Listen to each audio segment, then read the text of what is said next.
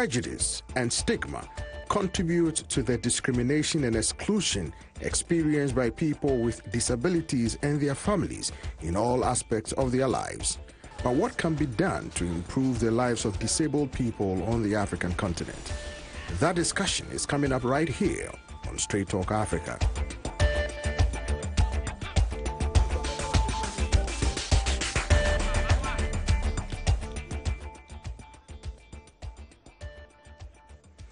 Hello and welcome to Straight Talk Africa live from the Voice of America headquarters here in Washington. I'm Peter Clottey sitting in for Shaka Ssali. Today we are discussing disability in Africa and what can be done to improve the lives of those who have special needs. The United Nations Day of Persons with Disabilities was marked on December 3rd. An estimated 60 to 80 million people are living with disabilities on the continent. Legal protections and customary practices for disabled Africans vary from country to country. Disabled people in Ghana have had many legal protections since 2006, but they still face many challenges. VOA's Kwame Asante Ofori reports. When I was in our village, I wasn't idle. I used to sell charcoal, polythene bags. In fact, I loved business. On certain mornings, I could cook gari with beans to sell.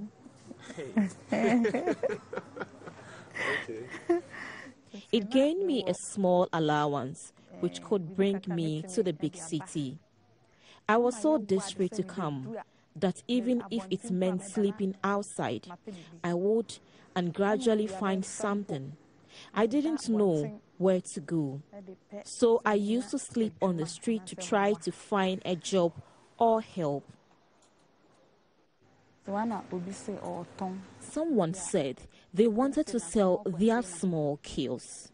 I sought to help and I used whatever I got to buy the kills. That's how I gradually began to grow. When that was done, I started receiving trainees to learn the trade.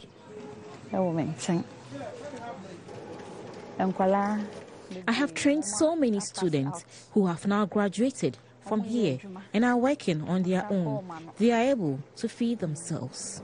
My vocational uh, course I studied a vocational course, but I didn't get any work.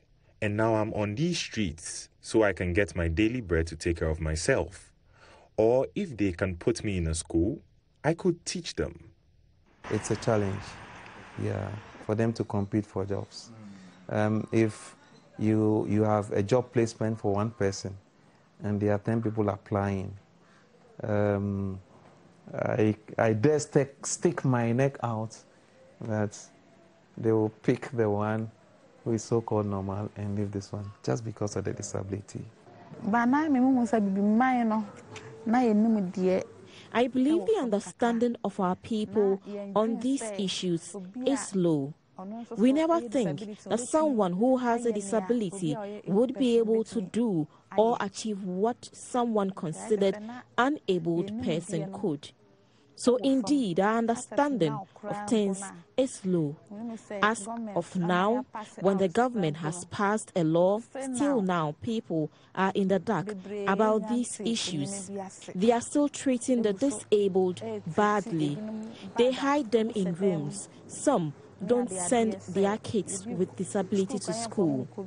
Even when you are going to look for a job as a person with disability, you are denied because of your situation. We are going to fight on and until we have a policy to employ all persons with disability, especially graduates who have completed struggle and completed university and are in the house. There are incentives for people who employ disabled people. So you have some tax holidays for businesses who decide to employ people who have disability. Now, this is a law, and that's how it's been working. Uh, unless, of course, maybe somebody is ignorant about the law, so that even though you have employed somebody, you have not applied for what is due you, you know, in terms of the tax holidays and incentives that I've talked about, you know. But that is the position of the law. Now joining us today in Washington is Priscilla Rodriguez, Associate Director for Advocacy of Disability Rights International. Imwatinyan Ugiagbe, a visual storyteller who is visually impaired. In Los Angeles, we are joined by Susan Kwizera, founder of the New Life Autism Foundation in Uganda. And from Addis Ababa in Ethiopia, we are joined by Berhanu Tefera Gizau, Executive Director of the African Disability Forum. Kwame Ofori also joins us. Welcome and thank you for joining us on Straight Talk Africa today. Thank you. Thank you for having us. So let me come to you, Imwatenya. Tell me about your experience um, oh. living with uh, disability, particularly in Nigeria. Okay, so born and raised in Nigeria, um, I was born with cataract, and cataract is basically the clouding of the lenses in the eyes. Um, and so my first eye operation was done at the age of six, and the second one was done at the age of 12 before moving to the US at 14. Um, at the age of six, um, because my eyes are open, and when it comes to disability, there are two types. There are visible and invisible. So mine is not obvious, and so it's very difficult for people to know that I have this issue. Um, so growing up, my parents didn't really know at first. Um, and when I started going to school, that became an issue because there were notes sent, teachers would send notes home to my parents um, complaining about my lack of participation in school. Um, and so it was very tough because nobody wants to claim that there was something wrong um, when they, you know, if, in terms of like dealing with the issue at first. So teachers would, you know, I went through a period where teachers would beat me several times when they asked me to, you know, you know, call out what's on the board and stuff like that. When I wasn't able to do that, they would flog me several times on the head.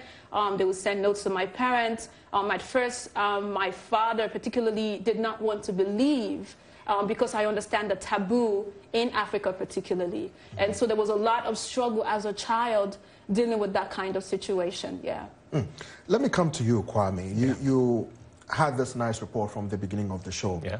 How challenging was it to get these people to openly talk to you, knowing the cultural perspective surrounding it, some of these it, issues? It was quite challenging because even walking on the streets trying to find, you know, we spoke to Joe Abani, who is a blind beggar on the streets of Accra. Before we spoke to Joe, we, we saw other people who are also disabled. Just having them come on camera to talk was very, very difficult because they, they feel like they've been neglected for so long. Why all of a sudden, why do you want to talk to me? What are you going to talk to me about? Where are you taking this to? And you can't blame them too much because if you've been neglected for so long, that is the kind of stigma that, stigmatization that you've been through. It, it, it leaves a lasting impression on your mind. So even when someone wants to talk to you about an issue, you just distance yourself. If I may ask, you talked about the, those living with disabilities having yes. protections from the government yes. law, yes. by law since 2006. So mm -hmm. why hasn't there been an enforcement to ensure these laws work for the people living with disabilities, particularly in Ghana? That, that, that question would best use the government of Ghana, really. But personally, I, I feel it's it's part it's a cultural thing. Mm -hmm. Yes, we've we've passed the law, it's beautiful, we've written it, okay, yay, hooray. But when it comes to enacting the law, that is where the problem is because these agencies really, I, I feel it's like a, it's a, it's a back bench for most of them. They're like, okay, yeah, we understand people with disabilities live with us here in the country, but, um, you know, they can deal with themselves and then we think about other pertinent issues. So I think that is what is causing this. Once they start to realize people with disabilities are equal to them, I think people will begin to enact the law and then, you know, straighten it out. All right. Elaine, let me come to you. Um, talk to me about your advocacy work in both Uganda and in Rwanda, if I may ask. Um, my advocate on this is uh, coming together as people who are in this field and speaking on behalf of these children. And my advocate has been pushing the government to introduce uh, the policy for the disability children, uh, especially the autism uh, I'm working with because it shows that um, these children, like everybody has said, uh, they have been neglected. And when the government cannot come up to help us to establish um, uh, res resources or um, education, uh, emphasize and training teachers, then we cannot do it. so um, I really uh, believe that uh, with the help of the government and us, people who are in this field, parents, uh, teachers, uh, therapists come together and push it and speak on behalf of uh, children with disability in Africa. But Susan, how is your advocacy work changing perception of prejudice, stigma, among other issues that people living with disabilities face in your region of work? Um, I started a program in, in Uganda, uh, New Life Foundation, uh, for uh, autism, and I've seen it working. The more we go out and speak about it, the more we speak to the parents, we, yes, we are seeing a big change. And uh, it's from that point that we are reaching out to the government uh, uh, and, and tell them what they have to do. Most of them don't even know what autism is. But there are so many other disabilities, the blind, the deaf, but autism particularly has been uh, ignored. So my advocate, it's not me alone. There are other people. We are working as a team. We are knocking at the doors. You know, uh, right now, actually, we, we have petitioned the, the, the, the parliament. We need them to hear us. We need to, to, to express uh, these children. We need to speak, be the, the, the voice to these children. So my advocate and other people, I really believe that with us pushing it, speaking, the government is going to intervene. Mm. But what has been the response of those in government so far, particularly the parliamentarian speakers of, of parliament in the region, parliamentarians individually interacting with you to grant you what you seek, uh, some protections for people with uh, disabilities? I believe uh, right now, like I said, we have not gotten the feedback from them, but we are hoping and believing that something is going to be done because they have given us the platform you know. So we are waiting to see what they have to do about it, especially in education, because everything begins with education. And we are struggling because of the lack of early childhood intervention, mostly in all Africa, not Uganda alone, but Africa as a continent. So we are pushing the Minister of Education to at least, you know, uh, introduce the early childhood intervention if all schools in Africa have trained teachers, you know, in special needs children, then I think there, there, there's going to be a change. Mm. Thank you very much, uh, Susan. Uh, Martina, let me come to you. Yes. Uh, in some places in Africa, um, I know there are homes, they call them cripples home, or people with living with disabilities, they went to school sponsored by the government. In your experience, growing up, some of the challenges you face, is it changing now? Um, there have been lots of changes, I mean, um, happening, but it's not as drastic. Um, and when it comes to disability, my particular, um, I guess, advice that I would say is a lot of education. Um, when, you know, Africa, we're very big on religion. I mean, this is something that a church can also be a part of. Um, and so for you to have that kind of impact in a community or in a society, rather, you have to make sure that implementation goes across the board. So starting with the church, which takes a lot of, you know, has a lot of audience. So I feel like um, when it comes to educating the minds or ed educating parents first about your children and, and the, um, and the, uh, the disability that they have, it's first accepting that the, the children has that kind of disability 1st mm-hmm. And then with acceptance, then you have the necessary step to, um, in terms of what you can do to help the child. I mean, it's, it's changing, but it's not, it's not as quick as we would like it to. Mm. Um, and that has a lot to do with, um, of course, cultural, you know, uh, uh, stagnant and, and then um, lack of government resources. And my personal experience, there weren't resources available for me at all. Mm -hmm. um, I went to a private school starting off. Um, there were no larger prints. There were no um, Zoom texts. There were no teachers had no idea. And so for you to constantly beat a child up um, because they can't do what you're making them to do, it's like you're putting the you're actually making them go through trauma. Mm -hmm. So mm-hmm. for that childhood, for 14 years of my life was just full of just that trauma. So I think we can do more, we can do better, but um, it has to be a combination of everybody. um, and for it to work. And that's what I purely believe. Susan, let me, let me come to you. What do you think are the other driving factors of some of these myths about people living with disabilities? What is what again? I'm asking what are the other core drivers behind the behavior of people uh, having some apprehension and some uh, concerns about people living with disabilities because from Kwame's report, it appears that they don't even want to hire them in spite of the fact that there are laws protecting them. Yeah, um, I believe stigma is uh, a big, you know, uh, thing in especially Africa. Uh, a lot of uh, parents even those who have money, they don't feel comfortable around these children. They don't feel comfortable walking around with them. And, you know, like Africa, we know it's culture-wise, you know, they feel that these children are probably a curse or, um, or mad, like the way, you know, or they've been uh, bewitched.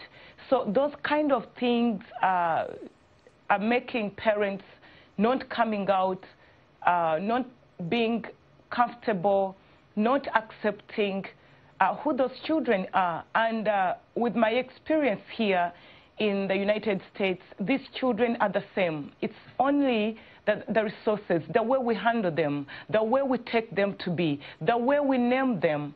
So things have to change. We need to keep on uh, talking to the parents, uh, bringing the awareness, and creating things, you know, that will make parents believe that, you know what, these children are the same.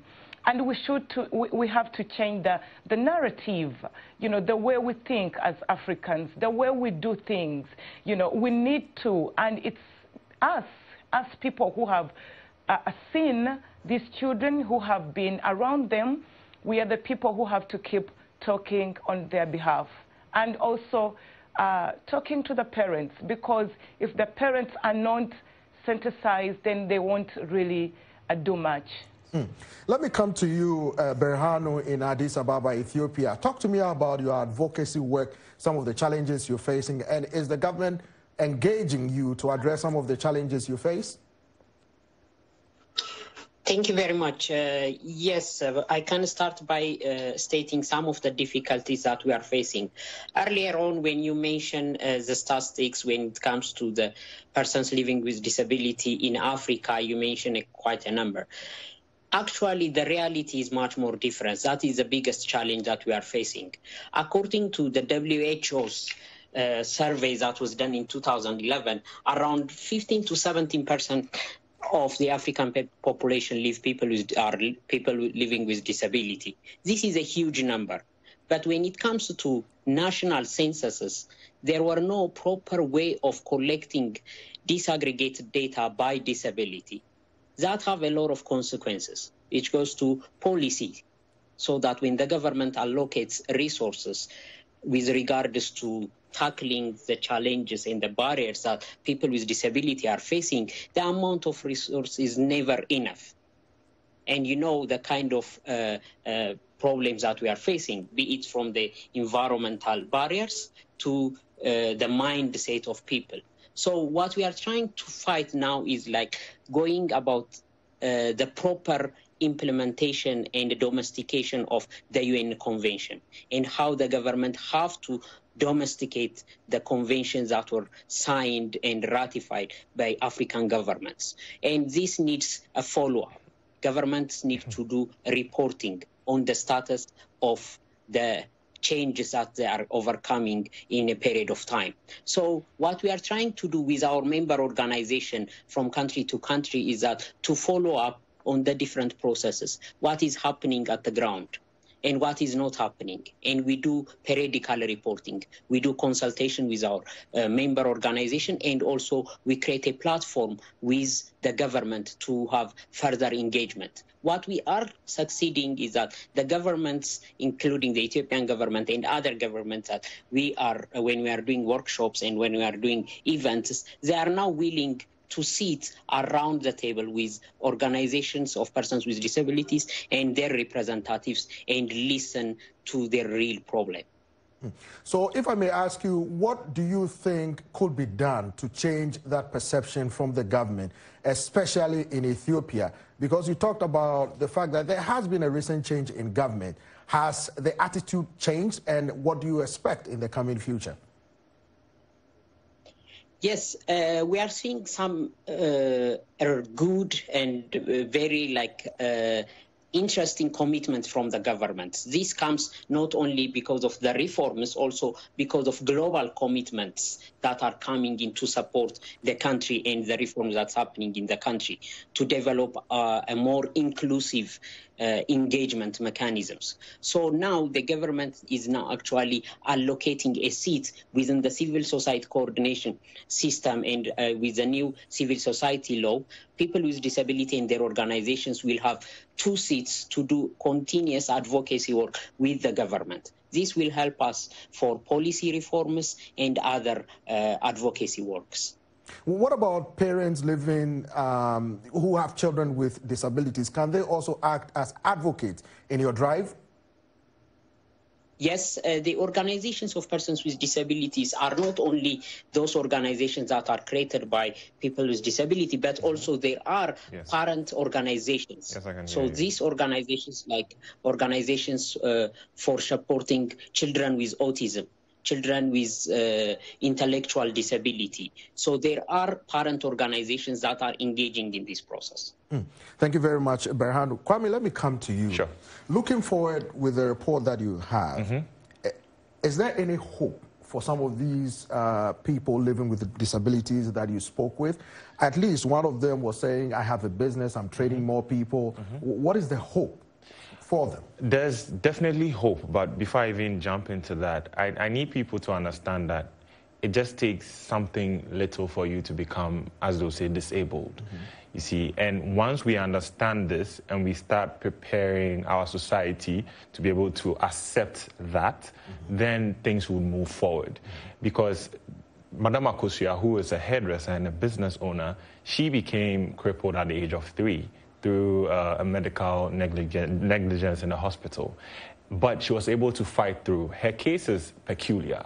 Not everyone has the chance. Mm-hmm. But imagine a world where we understand that any person can become disabled at any time. Mm-hmm. That means anytime policy is being driven, anytime laws are being created, anytime there's an enforcement, people think in that sense that, hey, it could be me. So why don't I place in the necessary structures for our buildings, for how we relate with people with disabilities? That way, we can all move forward as a people. That, that is the hope to me. Mm. Some people have expressed concern, particularly in Ghana, that even when those laws were enacted, mm -hmm. even government buildings have not been compliant mm -hmm. of those laws that -hmm. make it easy mm-hmm. for uh, people living with disabilities to access those buildings. Yes. Uh, hopefully that could change. But Mwetenya, let me come to you. What has been your experience since coming to the States uh, in terms of things that are available to you uh, that you can easily access that you couldn't access back Thank home? Thank you. So, well, let me just go back. So at home, my mother was very, very big on advocacy. My okay. mother was my, um, my voice. Mm -hmm. And so I remember after my second eye surgery, my mother coming to school with me, making sure I was sitting closer to the board. My mother made sure the teachers doesn't flog me or beat me in the head. My mother was just very involved extremely. And um, to this day, I owe so much gratitude to her um, because after like at the age of eight, I stopped going to school completely because mm -hmm. every time I would go to school, I would fail. I kept repeating classes. So I moved to the U.S. at um, 14. Um, immediately I got to the States, I realized that this is the second cha chance I have to make something out of my life. So I did not read as a child at all. Um, because I couldn't see textbook. I didn't know um, notebook had lines in them.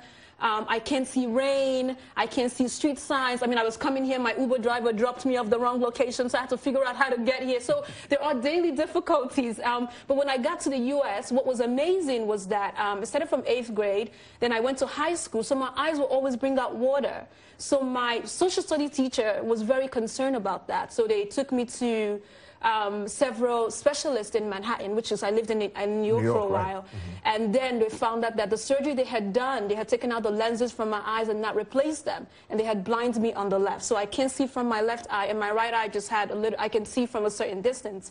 Um, so what they did that was amazing was that it, my prints were very large. Um, they made sure they read for me. They made sure someone typed my paper. Um, it wasn't that, because growing up, I always thought I was dumb. I wasn't smart enough.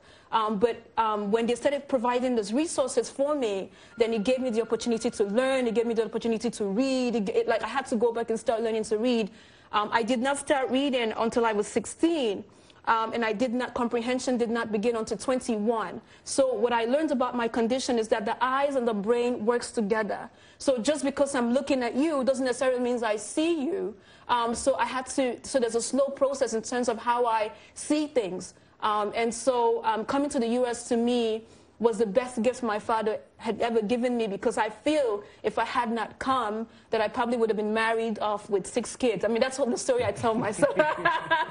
so I think that it is important that parents take part in the development of their child as African. Um, that if my mother had not come to school with me, uh, if my mother hadn't believed me, then the situation would have been different. Now, I'm going to share one more thing to you. I did a story last year on um, a woman whose daughter had this um, autism, mm -hmm. and um, the child was fine, and then at the age of, I believe, like three or something, she um, stopped responding to things, and the woman went to church for one year, um, she did all these things, and the, the kid just kept getting, the situation kept getting worse, mm -hmm. until finally someone told her, your daughter has autism. And then she didn't even know such thing existed until she accepted. And when she accepted, she started giving the child um, the necessary resources she needed. And now the child is doing fine. You know, so I think it's a, it's a matter of acceptance. And for so long, I did not want to believe because of that stigma. Mm -hmm. And the fact that I did not believe, I suffered greatly. I mm -hmm. suffered a whole lot. So I think um, believing acceptance is the, is the key when it comes to a situation like this. And a collective effort of both church, government, people, advocacy, everybody needs to come together and make the necessary change that uh, What about siblings reacting to this? Because sometimes siblings are a little bit confused. they don't know what is going on. Um, do parents have to explain to them? Um, society sometimes can be a little unforgiving when it comes to that. So how, how are they able to cope with My siblings are the best. Okay. I must not because I'm on TV. I'm just saying that.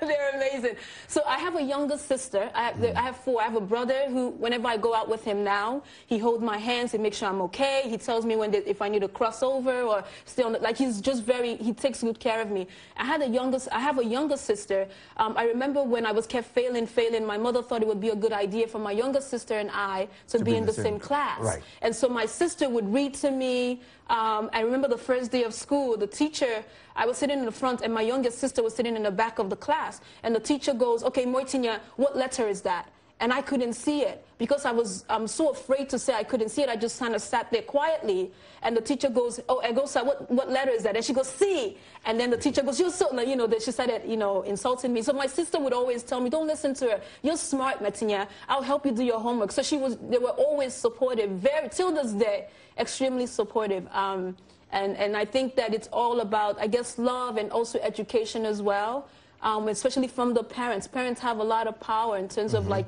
educating their children. My mother did such an excellent job with that. Yeah. Uh, before we go to the break, what about your father? What role did he play? I know he brought you to the U.S., but what about him?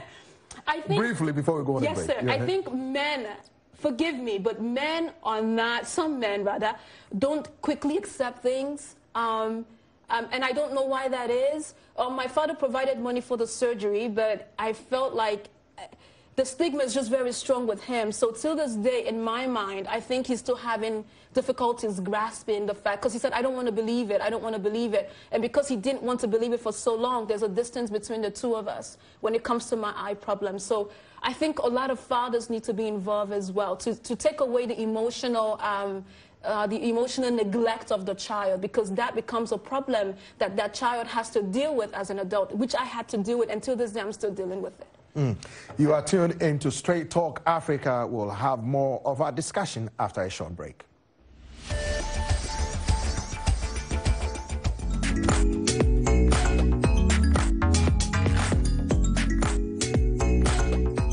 Voices, we're talking about the news and issues you're talking about, sharing stories of development and growth across Africa, around the world, and in our lives. Topics that inform, empower, and change the rules. It's time for Our Voices with me, Haiti Adams Fitzpatrick, and Hadiza Kiari, and Ayan Bior, and Orion Itangi Shaka. It's time for Our our voices.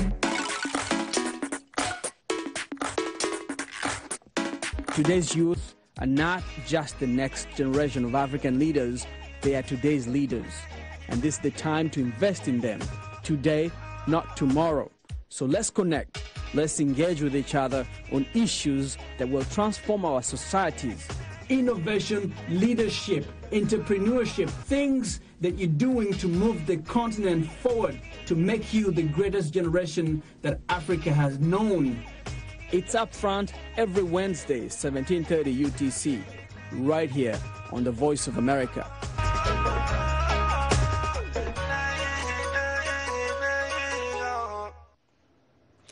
We appreciate all of the audience feedback. Straight Talk Africa streams live every Wednesday on Facebook. You can watch our show there and leave a comment. Uh, let's look at what's on tap for next week's program. On the next Straight Talk Africa, 2019 has been the year of Ghanaians in the diaspora returning to their roots in their West African homeland. 75% of the slave trade emanated from the Ghanaian coast, and now the country is extending citizenship to foreign nationals. The year of return on the next Straight Talk Africa. Today we are talking about improving the lives of Africa's disabled. Our guest are Priscilla Rodriguez, Associate Director for Advocacy of Disability Rights International. Imwetenya Ugiagbe, a visual storyteller who is visually impaired. In Los Angeles, we are joined by Suzanne Kwizera, founder of New Life Autism Foundation in Uganda, and from Addis Ababa, we are joined by Berhanu Tefera Gizao, head of the African Dias Disability Forum. Let me come to you, Priscilla. You, you were listening to the discussion. What are some of the challenges when it comes to some misconceptions, some stigma, prejudices about people living with disability? Well, what we found in Kenya, but we've heard also stories uh, throughout Africa, is that children with disabilities and their mothers face a lot of stigma. Their mothers are actually believed to have sinned, and, and the child with a disability is a result of that, and it's a punishment. So when a child with a disability is born, the mother is told, the mother is told you must have been unfaithful, or uh, you, you must be cursed, and the child is now uh, also a curse. So they face pressure to actually get rid of their child. Uh, DRI, Disability Rights International, conducted a three-year investigation in Kenya, mm-hmm. and we interviewed mothers of children with disabilities, and around 43% said that they were uh, they were pressured to give up their child. And actually, this number was higher in the rural areas, close to 60%. And they were all told that uh, it's because uh, their child is cursed, they are cursed, they are uh, sinners, and um, they need to get rid of the baby so that the curse does not spread to the family and to the extended family and to the community. So they have been even ostracized by their whole communities and be asked to leave if they refuse to get rid of their child. So are you saying religion has a very big part to play in some of these misconceptions? Yes, I mean a misconception of religion because uh, many times it's thought that even in the Bible, it's uh, sometimes disability is referred to as a result of punishment, even though uh, Jesus clearly says it's not a result of sin. But this uh, misconception that is from biblical times is still very much present uh, in, uh, in other parts of uh, the world, not, not only in uh, Africa, also in Latin America, but particularly in Kenya. That's what we've seen. Hey, Martin, let me come to you. What about religion? um, I think religion is, I always see it as you know, when you, it's something that's supposed to change our inside, change how we are in terms of our spirit, our soul, right? But I think when it comes to Africans, particularly, they use it more as a body lotion, so it sits on the skin. Um, and so, I mean, that's how I've been able to explain it. But I think that it just doesn't allow people to accept um, particularly, I was going to say with you, Ms. Priscilla, it's in the Old Testament that it says that it's a sin. It's, it says it somewhere. And, and, and this is, you know, as, as our, our, our um, culture grows, religion mm -hmm. is a big part of our culture, particularly, particularly Nigerians. And so we don't want to believe that. There's always... Um, something wrong with the mom. I mean, I'm pretty sure my mother went through all that. You know mm -hmm. what I mean? But if when we talk about advocacy, when we talk about education, um, religion is not bad. It's not a bad thing. But in terms of implementing something that works, there's a, a, lot of people go to church every Sunday. And if a pastor can begin a sermon, a service that, that encourages parents to accept your children, the changes will begin from there. You know, um, and so for my situation, uh, Nobody wants to believe it. Everybody kept saying to me, Oh, God will do it. Oh, close your eye. Let me pray for you, yeah, so that the miracle can walk. I mean, I've gone through a lot of churches. I mean, I can tell you stories and stories of churches that I've been through, and someone will say, Close your eyes, and then I close my eyes, and they pray, pray, pray, pray, pray. And then I open my eyes, the things are still blurry. And then they tell me, Oh, um, you, um, your faith is not weak. Uh, your faith is too weak. God can heal you. And I'm giving, giving you one story. So my father had just left. I was eight years old the woman came to get me from the back of the church. She took me to um, take me, get me from the audience uh, where, um, where I was sitting, and she took me to the back of the church. And she had on a white board in front of me. And she said to me, I want you to, and she said to me, God is going to heal you today. So I heard you can't see. So I want you to stand and read me what you see on the board. And here I am, eight years old, um, very fearful because I had gone through a lot of, you know, beating and stuff like that. So uh, very fearful, very afraid. So I remember standing in front of that board and I couldn't see anything at all. And I just stood there because I was so afraid. I kept saying, oh, A, Q, B. And she goes, ah, is that B? Come on, open your eyes and read what you see. She kept yelling and yelling. And through the whole time, my eyes were open as wide as possible. And tears kept coming out of my eyes. But I wasn't crying. Um, it was just that she was making me do things that my eyes were not built to do. And we did that for about 20 minutes. And then she kept pushing me closer to the board. She's like, this is me, this is the board. To the point where my nose was touching the board and I still couldn't see what was on the board. And she goes, go away. God can't heal you because your faith is too weak. I was only eight, and I'm 31. I still remember those things. So I think that church is, um, is good, but we have to find a different way to do it. It's about changing the narrative um, and, and, and, changing the narrative begin with using the information we have to tell a different story. And I believe that, and that's the work I do. Mm. Yeah. Priscilla, let me come to you. Yes. you. You have something to add? Yeah, I just okay, wanted sure. to add also about just uh, going on on the issue of religion. Uh, what we are also concerned is about the reaction of the church uh, towards people with disabilities. Uh-huh. We've seen that the church uh, has focused on creating um, orphanages or mm-hmm. homes for children right. with disabilities where they are often abused. And we've also seen how uh, missionaries uh, from especially Europe and the US and Canada, and also churches from these countries are uh, sending money to these orphanages or actually creating these orphanages. And this is actually creating an incentive to recruit children uh, with disabilities from vulnerable areas to put them in these institutions. Uh, so it's actually creating an, an, incentive for segregation instead mm -hmm. of actual support and inclusion, etc. Yeah, so um, in terms of, of religion also how um, it's important to emphasize that uh, well-meaning churches and missionaries that are wanting to help these children, the best way is not to do it through an orphanage because we've seen cases now of exploitation of children, trying to keep them in the worst possible conditions and trying to actually get as many children as possible in an orphanage in abusive conditions to generate pity, to generate also um, donations uh, for this for this uh, group home or. Yeah. So, so in, in, these, in some of these instances, what has your group done to try to resolve some of these challenges? And do you engage the government to explain to them to perhaps give them more information in order for these policymakers to implement some of these uh, findings that you've come up with?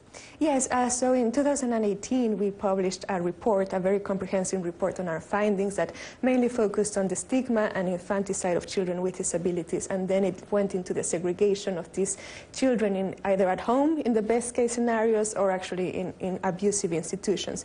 And then we also set, uh, put a clear set of recommendations to the government in this report and we met with government officials and we explained to them uh, our findings and um, we know there are some efforts right now to start at the institutionalization process in Kenya. And we have great allies on the ground already making advancements. There is a wonderful organization called Stahili. Uh, they are closing down orphanages and uh, putting taking their children back to their families and using the donations to support the families instead of uh, them going to to the directors of institutions.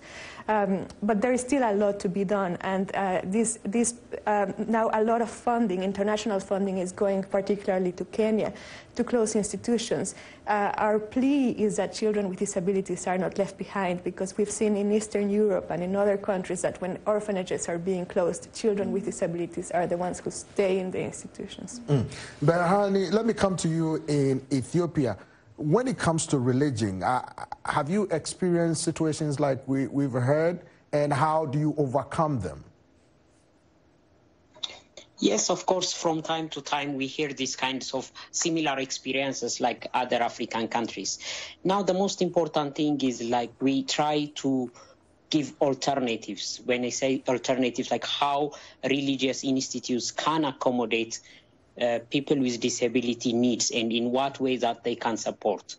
Uh, one of the things that is really changing is that in having children with disability in an inclusive schools, there is there are uh, a lot of uh, support services that are coming from religious institutes, including Catholic and the Orthodox churches, but most of the things are done in special needs education context. That means uh, children with disabilities, like for example, children with blindness, deaf children, they have their own schools. That's what we want to change. And religious institutions are also another burden in the society, like when parents have children uh, with disability and they take to the pastors or to the priests and they assume that this is our curses or the sins of the family. These are the things that we can change over time through education.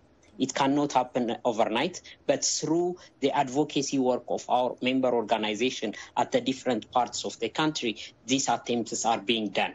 One of the things that our member organization in Ethiopia is doing is that every year when they are doing the IDPD, the International uh, Day of Persons with Disability celebration, is that they are doing it in different parts of the country to uh, sensitize the community and see disability as a diversity of humanity. humanity.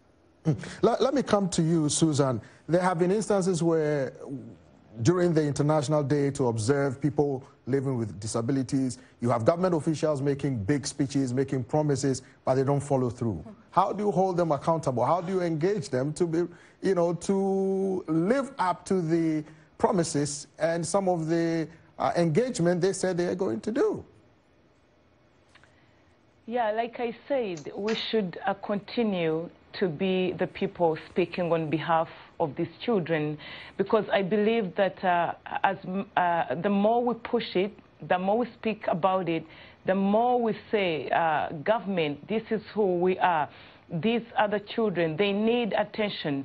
Uh, eventually, they are going to do it. Eventually, they are going to um, uh, put in policy for these children, uh, I think it's up to us not to give up, you know, not to give up because there's so much happening, you know, in, in the government, not disability um, alone, not uh, uh, so many challenges in education, in healthcare, in, uh, uh, uh, in, in community. But we need, we people who believe that we need, the government need to intervene, we shouldn't give up.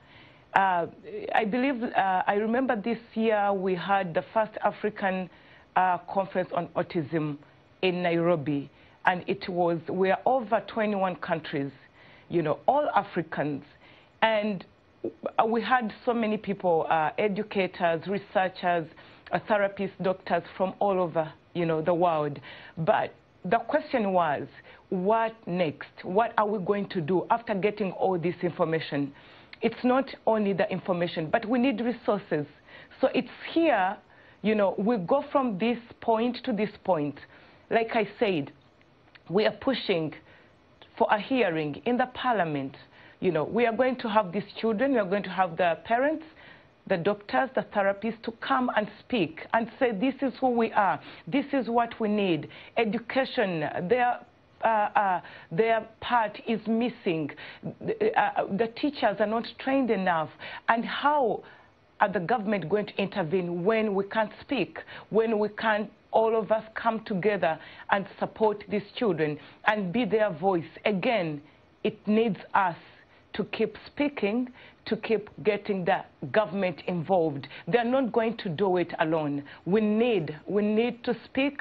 We need to show them this is where we need your help. So uh, the government is a big entity. I mean, there's so much. But if they see us coming along, saying, you know what, especially autism, it's being ignored.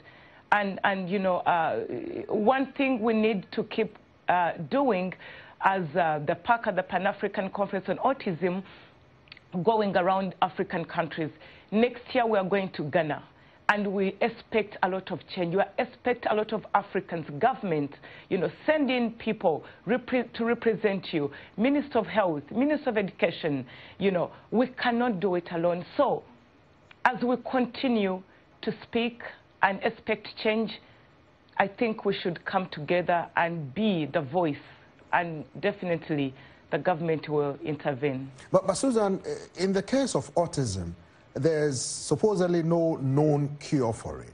And in some instances, depending on how extreme it is on the, on the spectrum, parents or institutions would have to take care of some of these individuals living with autism for the rest of their lives. How are parents able to cope with such situations?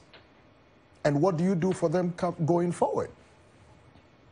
Again, if we introduce um, the early childhood intervention in schools. You know, let the children be assessed at the early uh, age. Let the parents know, okay, this is what's happening with my child. You know, I, I've, I have so many parents, you know, who are struggling in this area. But all we are doing is take, you know, a, a day, take a, a stage, you know, uh, as it is. Young children, of course, children begin to speak at the age of three, you know, some two. So when we recognize that these children need help in their speech, then we know where to take them as they grow. I work with young adults with autism, 18 years and above. We have so many activities for them. And these are the same things we are planning for our African, you know, children who are struggling with autism. We need to implement. When the children are, you know, young adults we know there are some who are high functioning. We create jobs for them. We do, uh, we take them out in the community. They, they, they can volunteer in different places. So uh, I've seen, uh, with my experience speaking to the parents, and bringing these children a big change. You know, uh, it's also a relief to bring these children into a safer place. You know, like New Life Foundation, you know, there's a lot of uh, uh, children and parents who have really uh, uh, appreciated the change in their children and what we see. So it takes us, again, to be creative.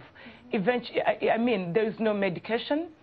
There's no, um, uh, we don't think they're going to, uh, uh, there is cure, but there are things, there are these children are well, you know, skilled.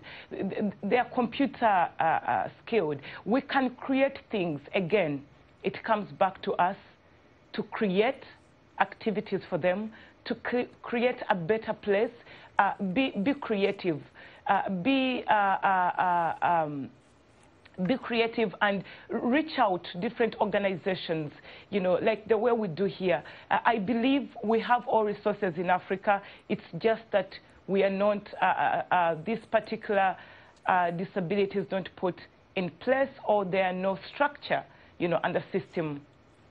Let, let me, come, let me come to you, Berhanu. In your advocacy work, what are some of the positive signs you're seeing in changing hearts and minds to regarding the uh, misconceptions, prejudices, and, uh, and the likes? Uh, look, for, uh, first of all, most of our advocacy work that we do is towards the duty bearer, governments and other stakeholders. So the most important thing is like for us, they should understand the diversity within disability because there is a misconception when you talk about disability it's only about uh, people with physical disability or blindness or deafness but there are other uh, specific issues that we need also to tackle depending on the uh, the constituencies that we are working around that includes for example autism what our sister has been discussing now and also the issue of people with psychosocial disability, all these things. So the first and the most important thing is that we discuss about the diversity of persons with disability. We are seeing a lot of changes, even when we are sitting with the government or the different stakeholders. Now they recognize the differences between the different types of disability, and they want to mainstream issues of disability in their action plan, in their work. The most important and significant change that we are seeing is that most African countries now, uh, due to the Agenda 2030 or the, S, uh, the SDG commitment that they have, when they do their national development plans, now they are putting issues of persons with disabilities into consideration. This is due to continuous advocacy and engagement with the governments. So I really want to recognize the national governments on one day when what they are trying to do. But still, we are missing a lot of things and a lot have to be done. Hmm. Let me come to you, um, Priscilla. Some people have said to me that people living with disabilities or groups advocating on behalf of people living with disabilities need strong allies, both in government and out of government, uh, corporations and organizations, institutions, to help push your agenda forward to ensure that governments engage uh, to resolve some of these challenges day to day people living with disabilities have in their daily lives. So, what do you make of that?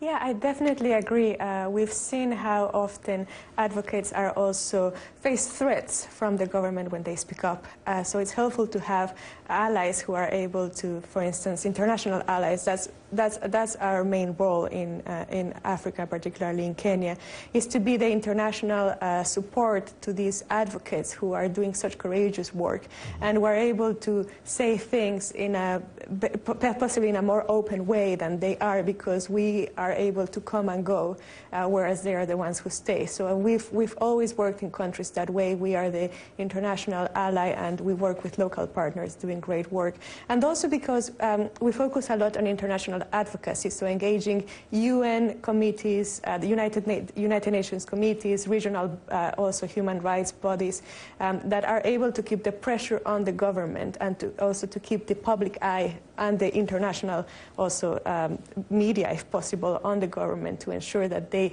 make the necessary changes and that they ensure that the rights of children and adults with disabilities are respected. Well, some of the things you've seen here in some Western countries is that some of these people living with disabilities are skilled, they are highly trained, but elsewhere, they are not being engaged, they are not being hired. Uh, Mutanya, can you tell me some experiences that you've heard or uh, seen in, in, in, the past? Absolutely. Before I come to you, Priscilla. Absolutely. Um, so for me, I'm a visual story storyteller. Um, and so, and I, meaning that I tell stories with images and videos. Um, now, if I were to be back home, however, it would have been something very different. I mean, I don't know because the resources are, were, were not there when I was growing up. And so no one would have known what I was good at. Now I'm a talkative. That's my mother's nickname for me.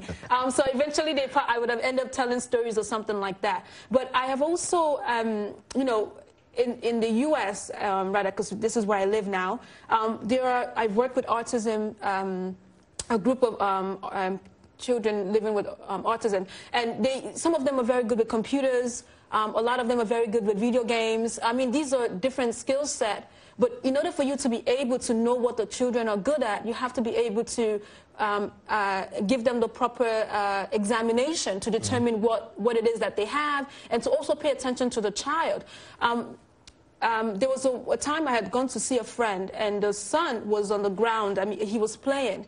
And so the mom at the time was like, beating the child, like, you know, I told you to sit here, you're not sitting here, sit here. So it kind of, it shifted in my brain that, oh, this mother doesn't even know that the, there was something wrong with the child, but the woman doesn't know there's something wrong with the child. So she's trying to straighten him up with the rest of the, because the other kids are behaving well, so she's trying to make sure that this her son behave like the other child. So I said to her, I said, your son probably has like, you know, um, among the uh, uh, autism spectrum. Mm -hmm. So it's best that you go and figure out what's wrong with the son instead of like trying to force him to do something that you know he can't do. Mm -hmm. So I think there are there are lots of we're very skilled and, and, and disability is very diverse.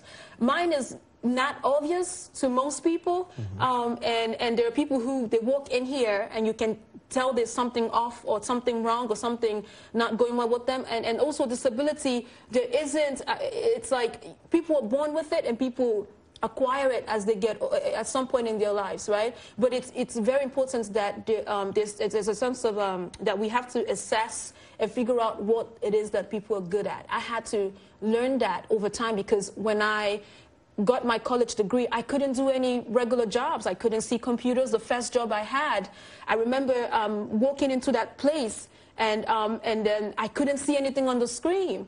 Um, and it was like a Rite Aid job, you know, it was, I have to scan people's information, blah, blah, blah. I couldn't see it, and I broke down in tears. You know, I called my mother, I said, Mommy, I can't see, because now my fear is that I'm going to be a burden to my family, mm -hmm. which I don't want to. So from 21 to about 30, I kept losing jobs because I was being placed at a, a, job that I just could not do. And no one knew how to help me. So I had to do a process of elimination myself to figure out, okay, what are your skill set? You know, you're a great storyteller. You, you know how to talk. You know how to engage people. Okay, so how about you start telling stories? And you love journalism, so you can start to focus on that. So I began to spend a lot of my time reading and attending classes so that way I can sharpen my um, storytelling skills. And so I think it takes uh, parents to do that kind of work with their children, starting from when they're younger, so that way you're able to push them into, towards the right direction. Mm -hmm. um, and that's my answer to you. Priscilla, let me come to you. Yeah, uh, I think that's a great question. There is a United Nations Convention on the Rights of Persons with Disabilities, mm -hmm. and one of the driving mottos behind that convention uh, from advocates with disabilities was nothing about us without us. So the convention clearly recognizes that anything that has to do with disability, from policy to legislation to any mm-hmm. action, needs to include people with disabilities, and that means that they need to be trained and they need to be also um, uh, they need to understand and they need to be part of what's happening, uh, what's being discussed. So um, part of what Disability Rights International has been doing uh, the, around the world, Turkey and Mexico particularly, is training people with disabilities, and, and also particularly people with psych psychosocial disabilities mm -hmm. or mm-hmm. psychiatric disabilities, uh, because they are some of the most marginalized, um, one, is one of the most marginalized groups within the uh, disability um, population. So uh, it's, yeah, it's key. It's key that uh, we understand our responsibility to ensure that people with disabilities, not only in the West, but everywhere, are trained and are given the tools to be advocates and to be sitting at the table where discussions exactly. are happening. Well, well, Susan, let me come to you briefly. Uh, do you have anything to add before we leave? Yeah, um, one thing I would love to say is uh, let's uh, keep up what we're doing and be the voice to these children. And uh, for the last four years, I've been pushing it, and I really see a big change. So, yes, we can do the, the we can have all this education, uh, training, but then we need hands-on. We need resources. We need to uh, actually, uh, those who can go to Africa, yeah, you know, go to Africa, be on the ground, look at the problem, and solve it. And I believe. Um, with all us coming together, you know, disability, you know, whichever it is, uh, these children are going to be better and we will make a better, you know, Africa. All right. Th thank you. Berhane, let me come to you briefly, 10 seconds. Okay.